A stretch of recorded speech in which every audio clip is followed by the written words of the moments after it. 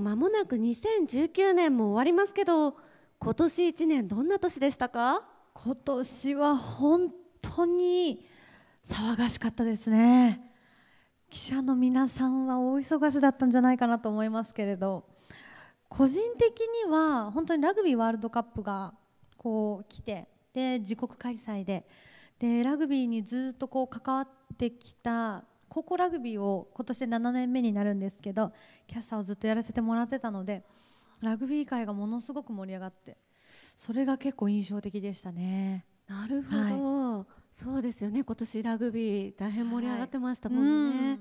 はい、はい、小島さんもね今年いろんなシーンでご活躍されてたと思いますがそんな小島さん今年は芸能生活10周年の年だったんですよね。はいそうなんですあの2009年にデビューさせてもらって、えー、2019年で今年で10周年で、はい、15歳から25歳まで、はい、やらせてもらってます。そんな節目の年として、今年いかがでしたか？そうですね。なんか特別なことがあったわけでもないですしあの10周年イベントとか10周年をお祝いするかっていう話にもなったんですけどうん、ある意味控えめである意味貪欲だなと自分で思うんですけどあの日常何も変わらず11年目を迎えたいっていう話をしてであの何の変哲もない10周年を送らせてもらいました。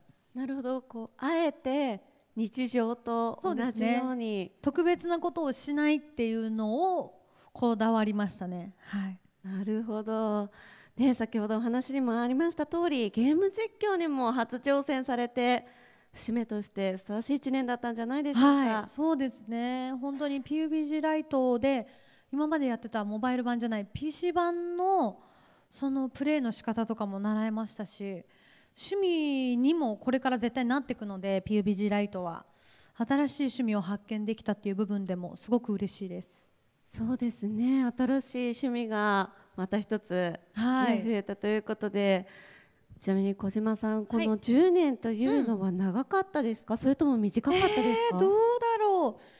15歳から25歳なんで長いような短いようなですけどあ短かったかな。でなんかどんどん年が取るのが早くなるっていうじゃないですか。だから35まではもっと早く来るのかと考えるとこれから10年も早いだろうなと思いますね。そんなね早い感覚で過ごしてきた10年なんですけども、はい、小島さんを支えてくれたものは何でしたか？私を支えてくれたもの。そうですね。チーフマネージャーですね。お 今。すごいリアルなとこ出ましたけど、ね、チーフマネージャーさんがもう、あの私の芸能すごいリアルな話いいですか？あぜひお聞かせください。私のあの全権をこう握ってるのでもう全部お仕事も任せてるんですよ。私自分で決めたことないんですよお仕事。なんでそういうところもそうですしあとは精神的な面だと家族が本当にあの私のあのなんていうの気持ちの揺れ動き方に敏感なので落ち込み切らないで落ち込みそうな時にはもうサポートが入る体制なのは本当に恵まれてるなと思いますね。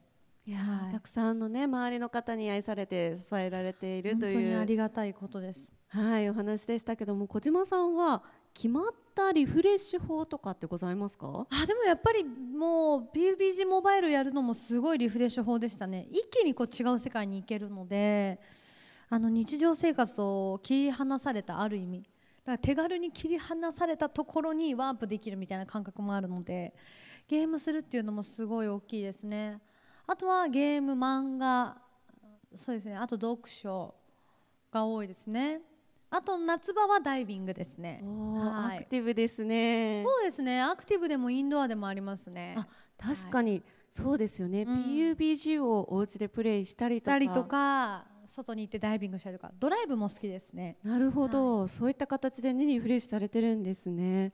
そんな小島さんを今日はもっと笑顔にするべく今日はあるものを用意させていただきました。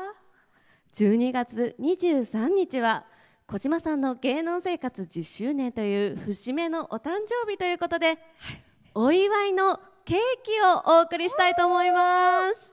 わー！えー、すごい。ケーキ？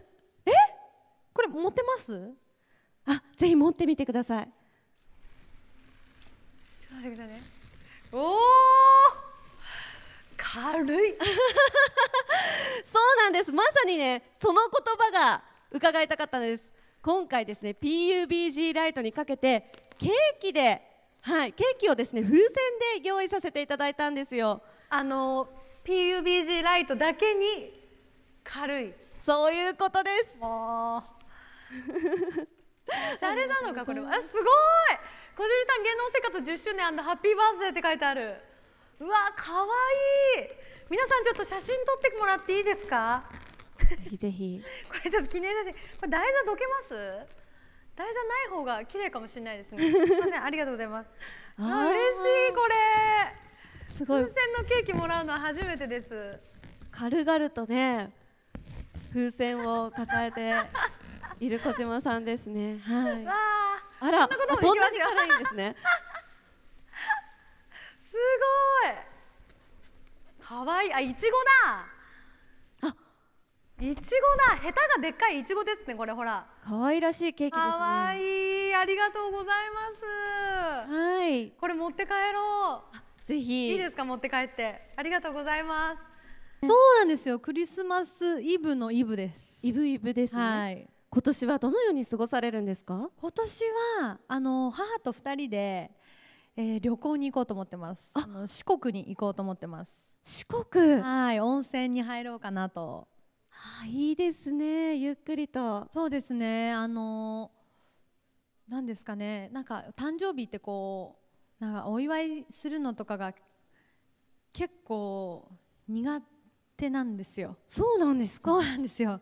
お誕生日会というものをに行くのはいいんですけど、あんまり自分のお誕生日会するのがちょっと苦手なので、あの母と二人旅行がやっぱり一番なんか私も母にこう産んでくれてありがとうで感謝できるし、あのゆっくりできるし、いいかなと思って、はい。あそうなんですねお誕生日というとねあのご自身が主役の日ですけどもうーん、逆そうですね。感謝の方がはい強いということですかねう、ん、そうですね。なんか、はいなんかね、あのバースデーっていうらしいですけど。バースデーを開いたりとかしては ちょっとあんまりあのショーに合ってないので、はい、旅行しますしっぽりはい、素敵なお誕生日になりそうですね。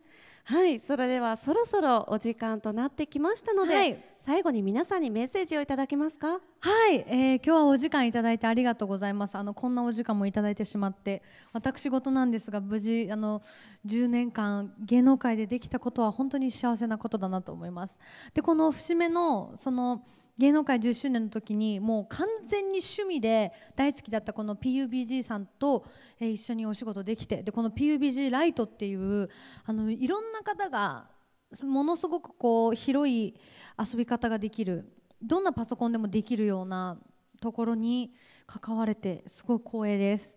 あのゲーミング PC を持ってない方でもあの実家のパソコンでもノートパソコンでもプレイできるそうなのでぜひ一緒にこれから PUBG ライトを楽しみましょう、えーそして、えー芸能生活11年目もあの変わらず